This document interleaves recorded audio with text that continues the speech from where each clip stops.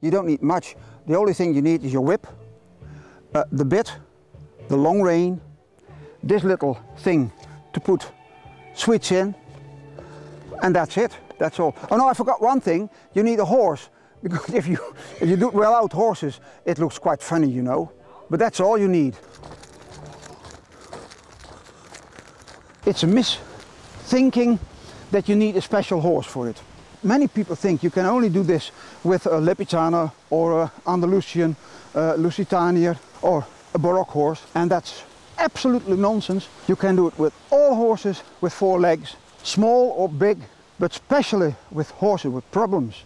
Uh, when they find out that there's no weight on their back, when they find out that they can use their body and their muscles again, uh, and it makes them feel happier. Ja, kom, kom.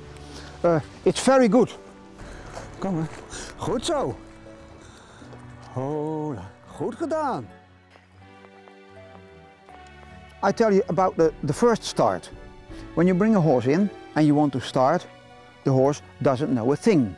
So you stand in the starting position next to the withers and you tell him to go forwards. And he doesn't understand that, of course. So the best thing to do is keep your whip with the top up and after you say walk, you can touch him on his hind quarters. When you do that three or four times, they walk, but they don't understand.